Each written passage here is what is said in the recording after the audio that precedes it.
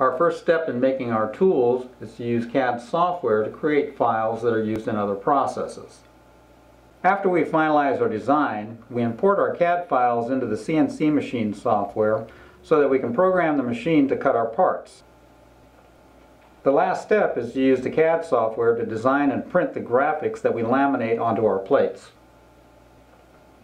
We decided to laminate using a clear polyester film in conjunction with a special type of adhesive.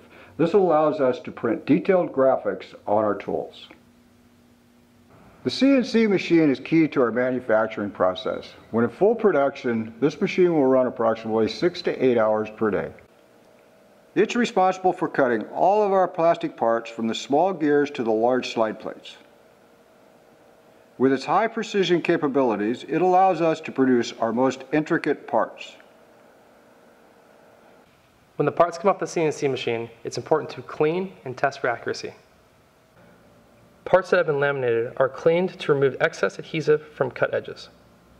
We remove all burrs and round the edges.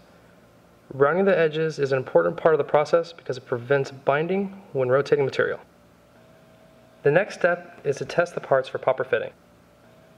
Some parts are designed to stand permanently, while the other parts, such as the center pin, must have the correct tolerance to be removed, but also stand firmly during use. Once we've manufactured, cleaned, and tested everything, our tools are ready to be packaged.